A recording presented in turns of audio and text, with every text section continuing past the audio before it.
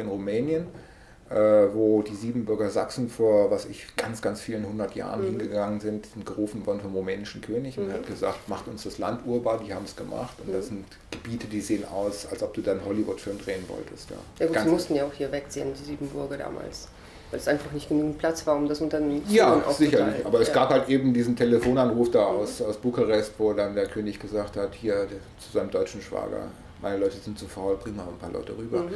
Die Deutschen waren bekannt zu arbeiten und dann hat der gesagt, ich habe hier ein paar zu viel. Und dann mhm. sind die rüber. Aber die haben es wunderbar gemacht.